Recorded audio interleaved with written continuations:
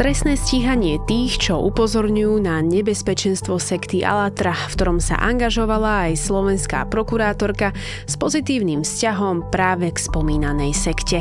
Tento bizár, ktorý sa pred dvomi týždňami mediálne prevalil u nás, ale aj v Čechách, má pokračovanie, na ktoré sa dnes pozrieme bližšie.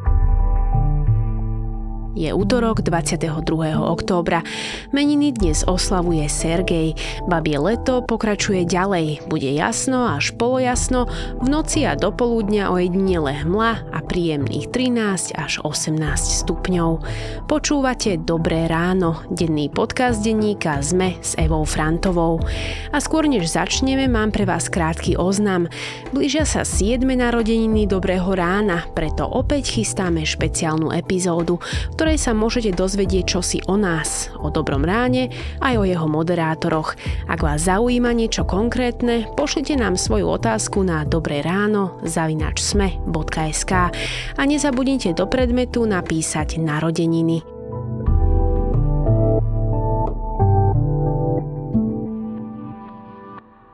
Tento podcast počujete, ale nevidíte ho. Rovnako ako 5G signál, ktorý nesie až k vám naprieč Slovenskom mobilná sieť od O2.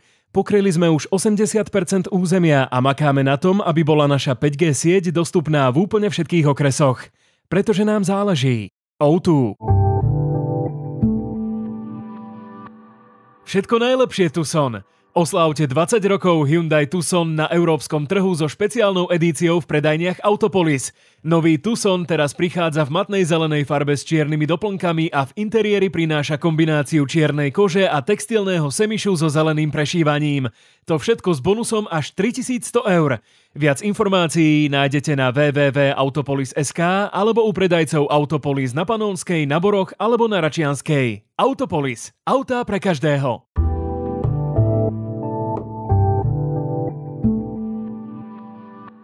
A teraz už krátky prehľad správ. Ministerstvo vnútra zriaďuje špecializovaný tím na prešetrovanie manažovania pandémie koronavírusu. Na tlačovej konferencii o tom informoval minister vnútra Matúš Taještok spolu s policajným prezidentom Lubomírom Solákom.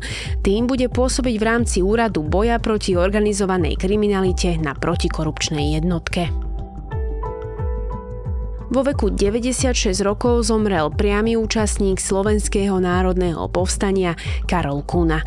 Potvrdil to Slovenský zväz protifašistických bojovníkov. Karol Kuna sa narodil v roku 1928 v Bobrovci. Bol priamým účastníkom SMP a pôsobil v partizánskej skupine za slobodu Slovanov ako spojka. Ministerstvo vnútra uzavrelo zmier s Andrejom Babišom v spore o ochranu osobnosti. Spor sa týkal neoprávnenej evidencie vo zväzkoch bývalej štátnej bezpečnosti. Ministerstvo uznalo, že Babiš bol neoprávnene evidovaný ako agent EŠTB pod krycím menom Bureš a že vedome z EŠTB nespolupracoval. Rezort vnútra týmto krokom spochybnil historické dokumenty. Environmentálne organizácie žiadajú odstúpenie ministra životného prostredia Tomáša Tarabu. Tvrdia, že jeho kroky sú v priamom rozpore s ochranou prírody na Slovensku. V tejto veci spustili aj výzvu, cez ktorú odstúpenie vedúcich predstaviteľov ministerstva môže podporiť aj verejnosť. Spojené štáty poskytnú Ukrajine ďalší balík vojenskej pomoci v hodnote 400 miliónov dolárov. Počas návštevy Kieva to oznámil americký minister obrany Lloyd Austin. Washington poskytne Ukrajine muníciu, obrnené vozidlá a protitankové zbranie.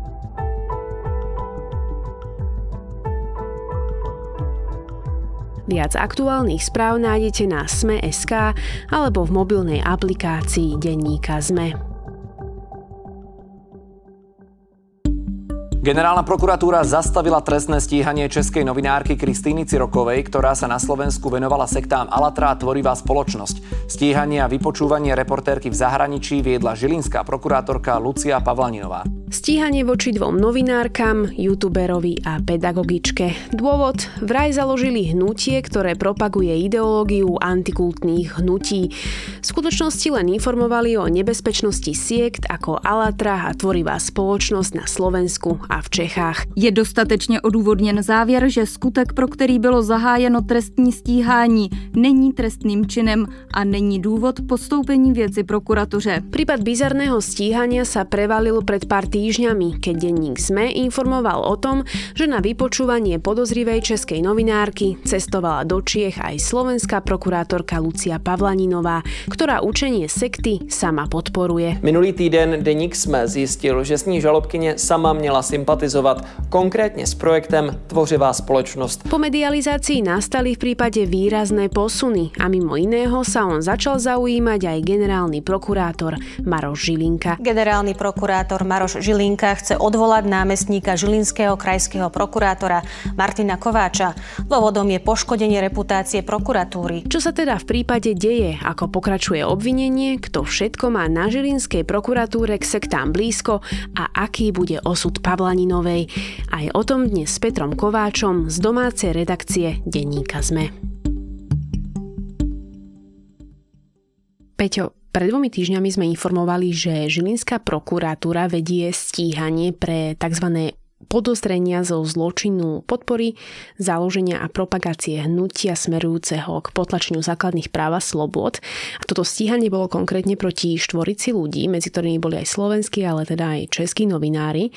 Podľa Žilinskej prokuratúry propagovali ideológiu antikultových hnutí, keď teda informovali vlastne o sekte Alatra, respektíve teda tvorivej spoločnosti. Je toto celé, povedzme, že bizarné stíhanie ešte aktuálne? Po piatku minulého týždňa v zásade už ani nie, pretože už vtedy sme sa dozvedeli od generálnej prokuratúry, že preukázateľne nejde o trestný čin a na základe toho zastavila celé trestné stíhanie.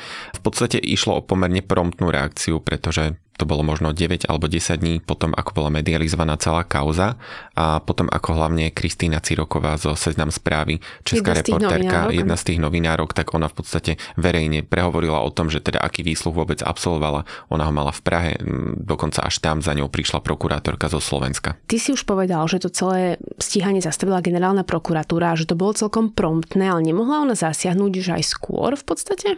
Určite mohla a je to jedna, jedna z otázok, ktoré sme sa pýtali a bohužiaľ dodnes na ne nemáme celkom odpovede.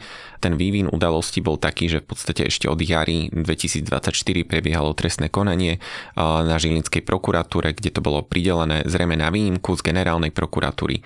No a teda začali trestné stíhanie s tým, že dohľadovú činnosť, teda takú tú kontrolnú, za, ako keby nie priamo výkonnú, mala práve generálna prokuratúra. Konkrétne Katarína Habčaková z nového odboru, ktorý vznikol na generálnej generálnej prokuratúre.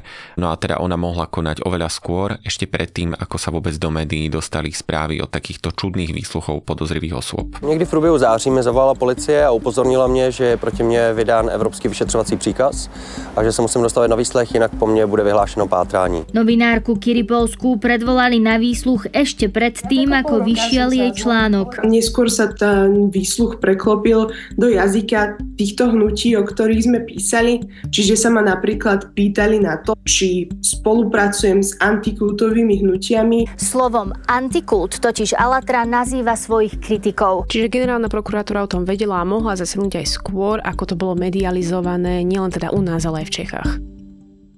Určite áno, a to nie len už um, pri daných výsluhoch, ale povedzme už keď sa aj dostalo na stôl takéto trestné oznámenie, ktoré vieme, že uh, jeho autorom je pseudolekár, ktorý, teda on nie je lekár, len sa za neho vydáva, ale teda ktorý taktiež sympatizuje a hlási sa k tvorivej spoločnosti a týmto sektám. Čo na zastavenie toho stíhania hovoria tí povedzme, že podozrivý. Ty si už spomenul novinárku Kristinu Cirokovú, ale ide aj o Karolinu Kiripolsku, alebo teda aj o českého youtubera Jakuba Jahla a pedagogičku Ivanu Škodovú z občanského združenia Integra. V podstate všetci samozrejme vítajú to zastavenie stíhania, pretože oni od začiatku ho považovali za nejaké nedorozumenie, za niečo, čo naozaj nemá hlavu a petu doslova, pretože už len tá podstata toho stíhania vôbec vychádza z tej ideológie, ktorú práve šíri Alatra a tvorivá spoločnosť, pretože tam sa hovorí o propagovaní antikultových hnutí.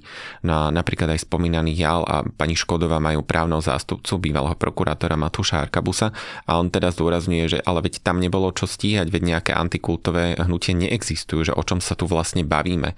A, a naozaj tá podstata spočívala v tom, že tieto sekty, ak ich tak teda nazývame, majú pocit, že nejaké antikultové hnutia na nich útočia a snažia sa ich dať ako keby do stredobodu záujmu, aby boli nejakým spôsobom vyšetrované, aby mali problémy so štátnymi úradmi, čo sa aj v tomto prípade dialo, pretože vieme, že či už Slovenská informačná služba alebo aj ministerstvo vnútra sa už v minulosti zaoberalo tvorivou spoločnosťou aj, aj konštatovalo, že teda považujú to za hybridnú hrozbu. No a teda práve to stíhanie ako keby prebralo tú retoriku práve takýchto siekt. Budú oni podnikať ešte nejaké aj ďalšie právne kroky voči celému tomuto podstate stíhaniu, ktoré na nich bolo spustené, teda už je zastavené? Minimálne tí dvaja, ktorých som spomínal a zastupuje ich Matúš Arkabus, tak oni to avizujú, totiž zdôrazňujú, že teda boli porušené ich základné práva ľudské a chcú vymáhať aj nejakým spôsobom odškodné od štátu, ktoré by chceli použiť ako prevenciu proti alebo osvetu proti sektám na Slovensku. Možno aby sme to dali aj do toho kontextu, napríklad pani Škodová, ktorá sa 25 rokov v občianskom združení Integra venuje práve činnosti siekt, tak ona strávila 4 hodiny na výsluchu, bez toho, aby tam mala právneho zástupcu, s tým, že je to vzdelaná žena, ale nemá na druhej strane nejaké právne povedomie na to, aby jej vôbec vysvetlil, že vlastne čo všetko od nej chcú, aby jej povedal, aké má práva, že, že napríklad aj to stíhanie, že je celé čudná, nemusí napríklad niektoré veci vysvetľovať ona, ale že na druhej strane OČTK jej majú dokazovať, že prečo je podozrivá. Čiže aj k takýmto zásahom dochádzalo. Mhm. Ty si už spomenul tak trošku aj toho, kto to trestné oznámenie podal. Trestné oznámenie na tzv. antikultistov podal Miroslav Kasan. Stojí za Centrom národnej medicíny Agapé, ktoré sa netají sympatiami k hnutiu Alatra a jeho vodcovi. Čo vieme o tom človeku? Ty si hovoril, že to je nejaký pseudodoktor.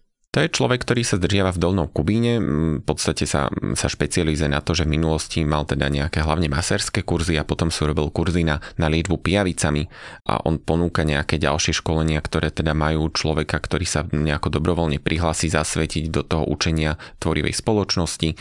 No a teda takýmto spôsobom ponúka svoje služby s tým, že všetko je tak um, posvetené tým, že sa naozaj tvári ako nejaký dlhoročný lekár. Na webe má svoju fotku v lekárskom plášti, hoci ako spomíname, on nemá ani med medicínske vzdelanie. Čiže celé to tak eh, podporuje takú tú ideológiu toho pseudonáboženského, pseudovedeckého hnutia, ktoré je teda tvorivou spoločnosťou. A on bol nejako spriaznený s touto tvorivou spoločnosťou? Tiež nejako uznával, že mal k nej nejaký vzťah? Práve organizácia, ktorú reprezentuje sa, ktorý jej spoločnosti priamo hlási na webe, má aj takú zmienku o tom, že teda oni spolupracujú a sú priamo nejakou organizáciou, ktorá je napojená na Alatru a tvorivú spoločnosť. Čo konkrétne ste vlastne oznamovali? Akú trestnú činnosť? Podobnú skúsenosť ako slovenská novinárka má i youtuber Jal. Jeho prišla do Česka osobne vypočúvať žilinská prokurátorka Lucia Pavlaninová. Mně bylo vlastně už od prvního okamžiku zřejmé, že paní Pavlaninová musí být členem nějaké sekty nebo nějakého zvláštního spolku. Bylo to poznat z její řeči těla, z, jej, z toho, jak mluvila. Na celom tom prípade bolo v podstate, môžem povedať, že najbizarnejšie, že sa v ňom angažovala aj žilinská prokurátorka Lucia Pavlaninová. Ona Jednak je teda prokurátorkou, ale zároveň sa o nej vie, že aj agitovala v prospech tejto tvorivej spoločnosti, či už tak, že vlastne posielala maily ostatným kolegom na prokuratúre alebo im ponúkala nejaké tabletky na dlhovekosť a podobne, čiže bola nejakým spôsobom, môžeme povedať, že spätá s touto tvorivou spoločnosťou, aj keď teda hovorí, že ona není priamo členkou a podobne. Najprv sa hovorilo, že ona sa v tomto prípade angažovala iba tak, že bola na výsluchu českej novinárky Cirokovej. A je toho nakoniec viacej, čo ona v tomto prípade robila? Je toho oveľa viacej, potom sme sa dozvedeli um, práve, že bola aj na výsluchu spomínaného Jakuba Jala. On sa uskutočnil v ten istý deň ako výsluch pani Cirokovej, rovnako v Prahe, no a napokon bola aj pri tom spomínanom výsluchu štvorhodinovom pani Škodovej. Potom, ako sa to prevalilo na verejnosť, tak teda už konečne zaujala stanovisko aj Krajská prokuratúra Žilina a teda povedala, že ona len suplovala niektoré úkony, ktoré mohol robiť dozorový prokurátor tohto prípadu Martin Kováč, ktorý je námestníkom krajského žilinského prokurátora, ale teda nebola priamo dozorujúcou prokurátorkou, čiže mu akoby len vypomáhala. A potom na ten nasledujúci výsluh, kde už teda vypočúvali pani Kiripolskú z investigatívneho centra, tak už tam prišiel v podstate, myslím, že žiadny zástupca prokuratúry a bol tam len vyšetrovateľ. No ale teda celé to bolo také čudné, hlavne z toho pohľadu, že doteraz vlastne nikto nevysvetlil, prečo tie jednotlivé úkony nevykonával priamo námestník, ktorý danú vec dozoroval, ale v takejto mohutnej miere ho zastupovala práve Pavlaninová, ktorá pritom bola v konflikte záujmov, keďže sama sa hlásila k tejto spoločnosti. No a povedať k tomu vieme toľko, že to je o nej všeobecne známe na prokuratúre, teda minimálne v tom kraji, a pretože ona je autorkou desiatok e-mailov, keď naozaj nabadala ďalších kolegov, aby im dala do pozornosti či už nejaké fóra organizované tvorivou spoločnosťou, semináre, školenia a tak ďalej. Rozdávala letáčiky, dokonca pri prezenčnej knihe na prokuratúre boli pravidelne položené desiatky letáčikov, aby si ich zobral prípadný záujemca. Mala plagát pozývajúci na nejaké podujatie tvorivej spoločnosti priamo na dverách svojej kancelárie, čiže naozaj veľké množstvo tých dôkazov, že teda nebolo to nejaké súkromné, keď by kolegovia vlastne nevedeli, čo ona robí vo svojom voľnom čase. No a vieme, ako tie jednotlivé výsluchy prebiehali. Ty si tu už spomínal ten výsluch pani Škodovej, že koľko hodín trvala a podobne. Čo viac vieme o tom, ako to celé fungovalo na tých výsluchoch? Podstate Kristýna Ciroková, ktorá je českou reportérkou, e, odmietla vypovedať, pretože už, už to jej bolo čudné, že k nej sa správali ako keby bola obvinená napriek tomu, že ona bola len podozrivá v tej chvíli.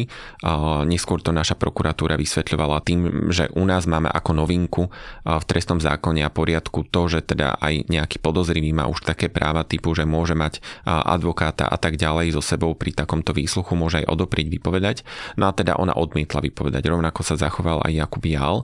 No a potom ale máme opačný extrém, keď pani Škodová strávila na výsluchu 4 hodiny a veľmi zvláštnym spôsobom odpovedala na, na otázky, ktoré boli veľmi všeobecného charakteru, typu, že odkiaľ čerpala informácie, ktoré používala vo svojich odborných článkoch o sektách, kde teda zmieňovala aj Alatru a tvorivú spoločnosť, čo bolo jej cieľom, v podstate nevedeli ani len špecifikovať, že čoho sa mala dopustiť, čo je chybné, čo nesedí ona len ako keby bola vystavená do, do tej pozície, že sa musí brániť voči nejakým všeobecným tvrdeniam, ktoré naozaj preberali tú retoriku, ktorú šili Altra. Po prevalení celej tejto kauzy, myslím teraz aj v médiách, tak v podstate Pavlaninová sa vzdala svojej funkcie vedúcej oddelenia trestného a boja s organizovaným zločinom Krajskej prokuratúry Žilina. Aký bude jej ďalší osud? Ona zostáva radovou prokurátorkou Krajskej prokuratúry Žilina, čiže nejde o nejaký zásadný pokles, len v podstate tú vedúcu funkciu, ktorú pritom mala len od oktobra, tak to už nebude zastávať. Mhm, ale riešia s ňou celkovo aj to, že v podstate v tomto prípade vystupovala a zároveň mala konflikt záujmov? Lebo jedna vec je stratiť teda funkciu, ale ako to bude riešiť, ja neviem, prokuratúra napríklad?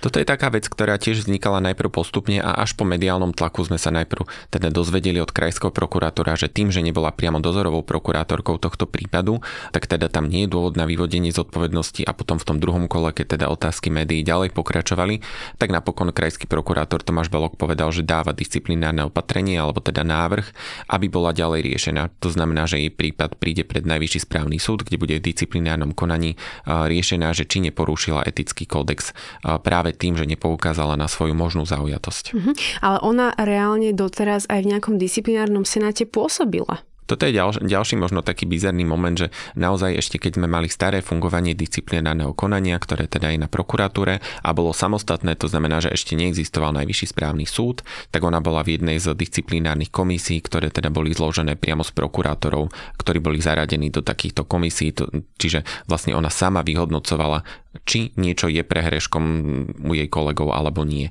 V podstate tie senáty ešte dožívajú doteraz, pretože tie staré prípady, ktoré boli rozbehnuté ešte pred najvyšším správnym súdom, tak oni dobiehajú v tomto starom režime. A nebude problém pre ten senát, že ona v ňom už nebude pôsobiť, ak teda ešte dobiehajú nejaké konania a o ničom sa rozhoduje? Toto je taká technická otázka, ale má v podstate jednoduché riešenie, že tam dajú náhradníka, náhradného člena senátu po jej vylúčení, lebo on automaticky tou disciplinárkou prichádza aj o miesto v disciplinárnej komisii. Ty si hovoril, že krajský prokurátor Tomáš Balok najprv tvrdil, že teda nemajú za čo odvolávať alebo nemá za čo proti nej viesť nejaké disciplinárne konanie. Takýto názor v podstate mal prvý týždeň po tom, čo vyšli nejaké informácie v médiách a, potom zrazu otočil. Bolo to tým mediálnym tlakom alebo To už sa môžeme len domnievať, ale naozaj to tak pôsobí, že na začiatku ako keby naznačoval, že veď ona nemala ani možnosť sa vôbec zapojiť a ozvať, keďže nebola priamo dozorovou prokurátorkou, čiže ju nebolo z čoho vylúčovať tým, že to nebol jej prípad. Na druhej strane ešte čo treba povedať, tak bokom ostáva ten Martin Kováč, ktorý je námestníkom žilinského prokurátora a on vlastne bol priamo dozorovým prokurátorom a on tiež ako keby ako priamo zodpovedný prokurátor vôbec ne, neskúmal to, že koho vlastne posúva, aby za neho robil tie úkony, ako napríklad prítomnosť pri daných výsluchoch, ktoré sme spomínali. Čiže vlastne aj to mala byť jeho zodpovednosť. A taktiež na toto sme sa v tých prvých dňoch, dokonca skoro dvoch týždňoch, nedočkali tej odpovede od krajského prokurátora, že teda prečo nevyhodnocuje ako problém to, že Martin Kováč nejakým spôsobom nekonal a nevyhodnotil Pavlaninovu v danom prípade ako problém. No a čo na toto hovorí ale samotný Kováč, že sa napríklad nepozeral na to, aké vzťahy napríklad s Al-Atrou má Pavlaninová. K nemu sa žiadna takáto informácia nedostala, že posiela svojim kolegom maily? To sme najprv vôbec nevedeli, až napokon koncom minulého týždňa poskytol Martin Kovač rozhovor pre plus 7 dní a on tam pomerne alibisticky sa tváril, že teda on o ničom nevedel, vôbec sa k nemu nedostala informácia, že Pavlaninová vôbec nejakým spôsobom agitovala za tvorivú spoločnosť a že teda ak sa ona sama nenamietala, tak on o tom nemal odkiaľ vedieť s tým, že on v podstate do apríla tohto roka nepôsobil na krajskej prokuratúre Žilina, on bol totiž predtým na okresnej prokuratúre Martin a tak ako keby sa od toho celého dištancoval s tým, že on dokonca aj povedal, že napriek tomu zastaveniu stíhania zo strany generálnej prokuratúry on v tom nevidel problém, v tom samotnom konaní by pokračoval ďalej. No a voči takémuto konaniu Kováča, že v podstate hovorí, že nevidí nič zlé ani len na tom stíhaní, ale ani na tom, že v podstate poveril Pavlaninovu tým, aby ho zastupovala pri niektorých tých úkonoch. Na tomto nevidí nič zlé generálna prokuratúra? Celé sa to najprv zviezlo na tom, že teda ide o iný právny názor a teda v podstate nebol dôvod nejakým spôsobom konať voči konkrétnym prokurátorom. Až napokon sme sa v pondelok dozvedeli, že teda bude odvolaný aj Martin Kováč a to napokyn generálneho prokurátora Maroša Žilinku. On povedal, že nejakým nenapraviteľným spôsobom naštrbil ten obraz prokuratúry. A v podstate je, je to veľmi dôležitý moment aj z toho pohľadu, že Maro Žilinka celé dva týždne mlčal, on naozaj nejakým spôsobom nekomentoval celý prípad. Až napriek teda tým dopytom, že teda ide o pomerne vážne zlyhanie, kde sme čakali nejaké zakročenie nielen proti Pavlaninovej, ale aj ďalším zodpovedným. A toto je jeho prvý prejav, keď teda povedal, že niečo také neakceptovateľné. A potom ako teda Kovač neodstúpil sám, tak ho odvolá on. Vieme niečo o Martinovi Kovačovi ako takom? Ty si hovoril, že on pre plus 7 dní spomínal, že na tej Žilinskej prokuratúre pôsobí až myslím, že od apríla. Čo robil predtým alebo kto to je? Ako jeho pôsobenie vôbec na prokuratúre vnímajú kolegovia? Ako som už spomínal, on predtým pôsobil na okresnej prokuratúre Martin a toto je vlastne ale to jeho dištancovanie sa od celej Pavlaninovej takým ďalším kameňom úrazu, na ktorý sme poukazovali aj v denníku SME, pretože on síce porozprával plus 7 dní, že on o tom nemal odkiaľ vedieť. Na druhej strane aj my sme sa dostali dostali k e-mailom, kde oni priamo medzi adresátmi tých konkrétnych e-mailov, keď Pavlaninová nielen teda jeho, ale aj ďalších kolegov volala na nejaké podujatia, dávala im do pozornosti napríklad to, že aké kroky robí tvorivá spoločnosť. Boli tam napríklad také tie tri fázy, keď oni hovoria o tom, že treba zorganizovať svetové referendum na to, aby vznikla tvorivá spoločnosť a tak ďalej. Čiže on bol priamo informovaný. Keď sme ho s touto otázkou konfrontovali, tak on teda povedal, že nemôže poprieť, že by dostal také e-maily, ale na druhej strane on vždy čítal len pracovnú poštu a to, čo teda bolo mimo pracovného rámca, tak sa tým nezaoberal, aj keď to bolo od kolegov. Tak tam je vlastne možno taký zaujímavý moment, že teda ako bez otvorenia e-mailu rozlíšil, že čo je pracovné a čo nie. Čiže on sa tvári, že ten mail mu prišiel a že on sa k jeho obsahu nejako nedostal. Presne už. tak, že on už neskúmal, že čo mu vlastne kolegyňa z inej prokuratúry píše a posiela. Mhm, ale toto bola jeho odpoveď až po tom, čo sme ho konfrontovali s tým, že tie maily dostával. Áno, potom ako sme sa priamo pýtali na to, že veď teda máme dôkaz, že on bol jedným z adresátov a to je naozaj len príklad jedného e-mailu, pretože bolo ich o mnoho viac. My tu hovoríme o Kováčovi, hovoríme tu o Pavlaninovej. Ty si spomínal, že Pavlaninová posielala maily svojim kolegom, kde sprezentovala myšlenky tvorivej spoločnosti. Vieme možno aj o ďalších prokurátoroch, ktorým bola blízka celá táto ideológia? Toto je ďalšia taká vec, ktorú sme už aj tak nepriamo naznačovali v článkoch, pretože z tých neoficiálnych informácií máme, že minimálne jednu prívrženkyňu má tvorivá spoločnosť aj priamo na Žilinskej prokuratúre. Medzi kolegami sa o tom jednoducho vie. Taká vec sa neutají, čiže vieme minimálne teda o dvoch prokurátorkách, ktorí sú zasvetené tejto ideológii, aj keď sa teda domnívame, či sú priamo členky alebo len sympatizantky. S tým, že teda Pavlaninová poprela členstvo. Ona poprela, na druhej strane krajský prokurátor hovorí, že on nemá dôvod to spochybňovať, pretože on ona napríklad dostala aj bezpečnostnú previerku, ale teda nevieme to nejako globálne popísať, že koľko takých sympatizantov ešte môže byť na prokuratúre, ale teda určite je pomerne činná táto sekta na Slovensku. Konštatovalo to aj Slovenská informačná služba, aj ministerstvo vnútra, ktoré napokon aj v ostatnom čase informovalo, že sa opäť zameriava na činnosť tejto skupiny. Mhm. Ty si už spomenul previerku. Pavlaninovú len nedávno preveroval Národný bezpečnostný úrad a udelili previerku na stupeň dôverné. Čo to hovorí o dôveryhodnosti samotných previerok, ak takýto človek získa previerku? Nemalo by sa to stávať, to je jednoznačné, pretože už len činnosť v prospech nejakých siekt je v podstate niečo, čo, čo teda je prekážkou na získanie bezpečnostnej previerky. A napriek tomu, že stupeň dôverné je nízky stupeň, nejde v takomto prípade o tak hlboké preverovanie, ako je napríklad na tajné alebo prísne tajné. A na druhej strane by sa to určite nemalo stávať. Napokon aj opoziční poslanci povedali, že toto je vec, ktorú chcú teda ďalej prešetriť, chcú iniciovať iniciovať mimoriadný výbor v parlamente, aby sa teda pýtali priamo šéfa NBU Romana Konečného na to, akým spôsobom sa udelujú previerky a či napríklad toto je technicky možné, aby uniklo pozornosti aj bezpečnostných služieb. Čiže táto téma je tu na stole. Napokon videli sme, že už aj v minulosti dostávali ľudia previerky aj za okolnosti, kde boli reálne prekážky na to, aby ich získali. Čiže tomuto sa ešte budeme venovať ďalej. A vieme, kedy ten bezpečnostný výbor mal k tejto veci zasadať, alebo teda je to len ako keby niečo, čo opozícia chce iniciovať a nemá to ešte nejaké presné kontúry. Zatiaľ poznáme len ten zámer progresívneho Slovenska, ktoré sa chopilo tejto témy, povedalo, že chce si priamo Romana Konečného zavolať aj na zasadnutie kontrolného výboru na NBU. A o termíne ešte konkrétnom nevieme. Tak uvidíme, budeme to sledovať aj ďalej. Toľko Peter Kováč z domácej redakcie Denníka ZME. Ďakujem.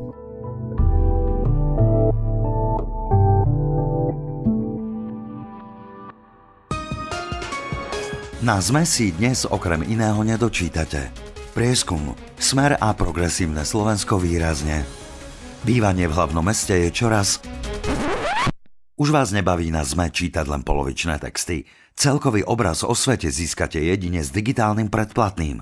Využite možnosť výhodne si objednať predplatné za súčasnú cenu už len do konca oktobra na zme.sk. Toto je krásna maličká garzónka. Pozrite, posteľ v kuchyni, aké praktické. Čo viac si môžete prijať? Viac. Viac? Oveľa viac. Viac možností, viac metrov, viac balkóna, viac všetkého, po čom túžite pri kúpe nového bytu. Teraz v Slnečniciach s úrokom od 2,39% ročne. Exkluzívne od Cresco Real Estate a VUB banky. Viac o podmienkach a reprezentatívny príklad na www.hypotekabezkompromisov.sk Satirický podcast Piatoček sa so svojím bizarným politickým kvízom chystá na východ Slovenska. Ak si chcete overiť svoje vedomosti o postavičkách našej politiky aj o dôležitých či úplne bezvýznamných udalostiach, príďte v pondelok 4. novembra o 18.30 do Wave Centra nezávislej kultúry v Prešove. O deň neskôr, v útorok 5. novembra, bude kvíz o 18.30 v kasárniach Kultúr Park v Košiciach. Lístky nájdete na Instagrame Piatočku a na sme.sk lomka presov kvíz a sme.sk lomka kosice kvíz. Na záver ešte pripomínam, že dnes vychádzajú aj nové epizódy podcastov z našej produkcie, a to Vizita, Vedátor a Všesvet. Na dnes je to všetko. Počúvali ste Dobré ráno, denný podcast denníka ZME s Evou Frantovou. Do počutia opäť zajtra.